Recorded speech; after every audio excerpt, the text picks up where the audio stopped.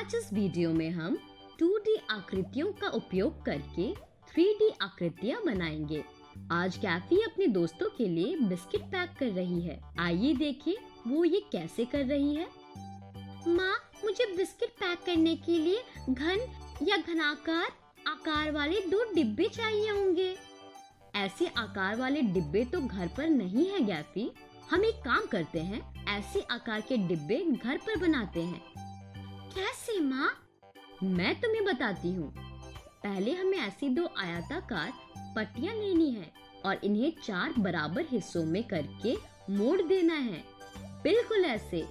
माँ, ऐसे तो हमें हर पट्टी में चार बराबर वर्ग मिल जाएँगे।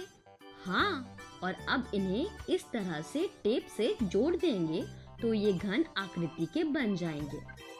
वाह, ये बहुत अच्छा दिख रहा है माँ। बच्चों आपको क्या लगता है क्या हम ऐसे अन्य आकार भी बना सकते हैं?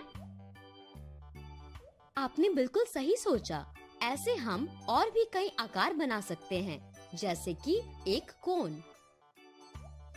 बच्चों कोन बनाना बहुत आसान है। उसके लिए हम एक पेपर लेंगे और उसे इस तरह मोड़कर चिपका देंगे। ये बहुत मज़ेदार है, माँ। मैंने कभी सोचा नहीं था कि हम ऐसे भी आकार बना सकते हैं। बच्चों, अब आपकी बारी है, एक कागज़ से बेलन आकार बनाने की। लेकिन ध्यान रखिए, कैंची या किसी भी नुकीली वस्तु का इस्तेमाल करने के लिए किसी बड़े की मदद ज़रूर लें। कागज़ से बेलन आकार बनाकर उसे अपने दोस्तों या परिवार के सदस्यों को भी दिखाएँ।